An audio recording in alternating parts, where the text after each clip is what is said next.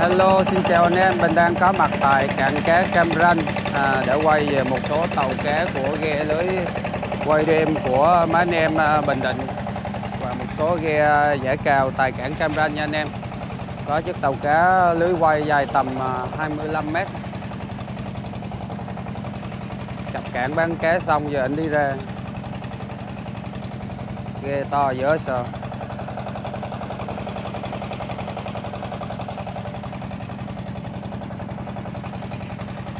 Mình quay một vòng à, cảng Cam Ranh cho anh em xem nha, anh em ơi.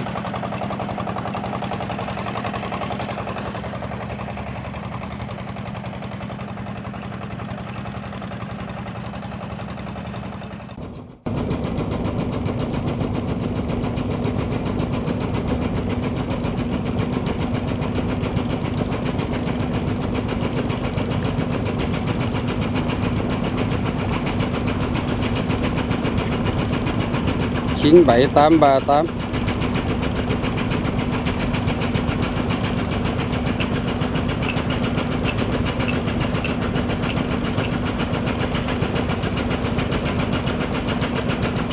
Tàu cá lưới quay đêm làm ngờ khơi nha anh em.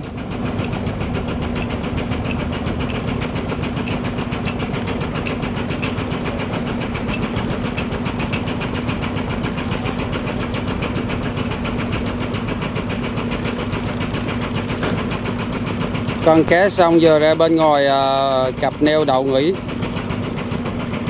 Cho anh em về nhà nghỉ ngơi. Qua trăng là mấy ảnh à, mở biển lại.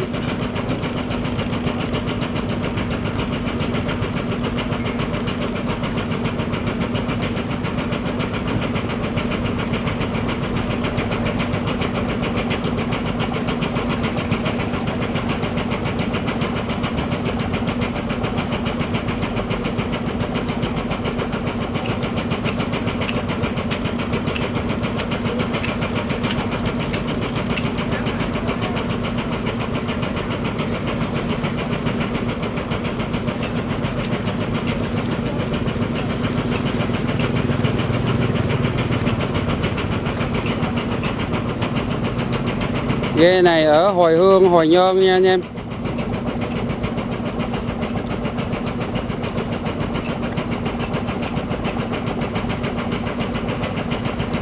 mấy anh em bạn vừa hết trơn, còn có một hai người à.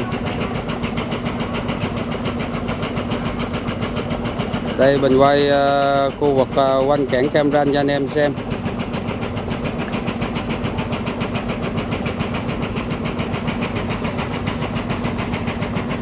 này có tàu dầu nữa nè.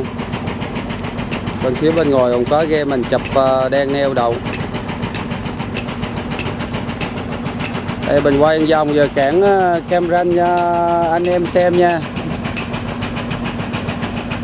Ở đây ghe dẻ cào cũng rất là lớn anh em.